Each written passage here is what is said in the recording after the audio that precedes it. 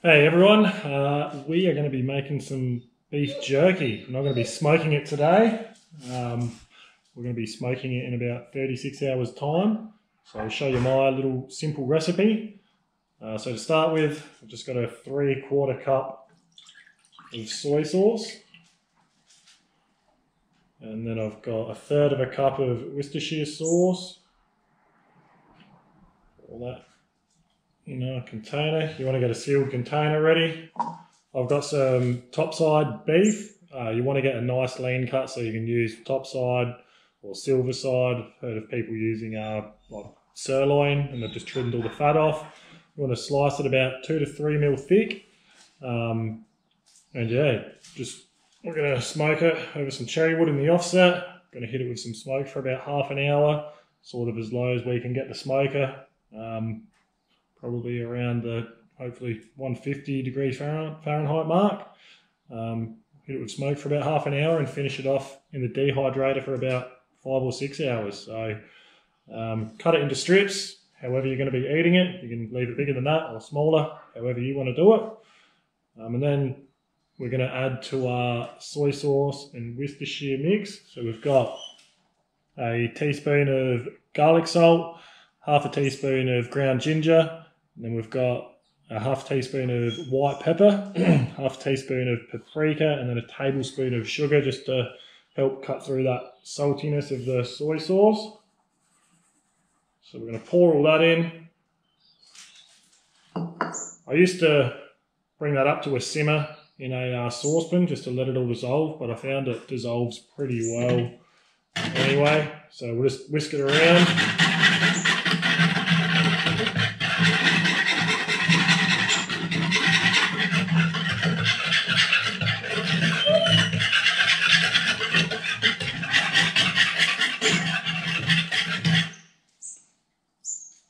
Dissolves pretty well. And then um, we're literally just going to add our beef into it. Nice and simple. So like I said, let this go for about 36 hours. You can do it after 24 if you want, but the longer the better. So you want to completely submerge your strips into the liquid there's any sitting out, just um, sort of move it around every 12 hours just so it's all getting a nice even coverage. We'll put that in the fridge and uh, come back when it's ready to hit the smoker. Alright guys, so it's pretty early, got coffee there and we've just removed our um, beef jerky out of the container. We've put it on some paper towel just to absorb some moisture. And we've got some coals ready cherry chunk there. And we'll try and keep the temperature at about the same as what the dehydrator runs at, at about 70 degrees. We're only going to hit it with some smoke for half an hour and finish it off in the dehydrator because it's going to be much easier doing that than trying to fight temperatures in this thing all day. So whatever can make your life easier, go ahead and do. If you want to do it in the smoker the whole day, go for it, but I'm going to be doing it in the dehydrator. All right, so we are on the nice thin blue looking smoke is what you're after. So it's a firebox.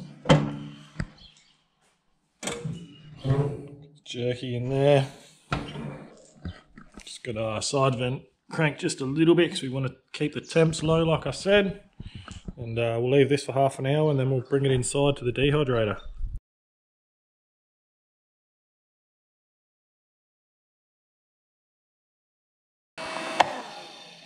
Right, so we're about four hours into our jerky being in the dehydrator, and then it spent the half an hour in the smoker. So still needs quite a bit longer, I reckon. The texture I like for jerky is so you can basically bend it and it cracks and snaps but doesn't snap apart. I like a little bit of texture in there still so you'll feel it snap but it'll still hold together and that way it has a nice little bit of chew to it still but um, it's still nice and crispy on the outside. So we'll come back and check it in another couple of hours.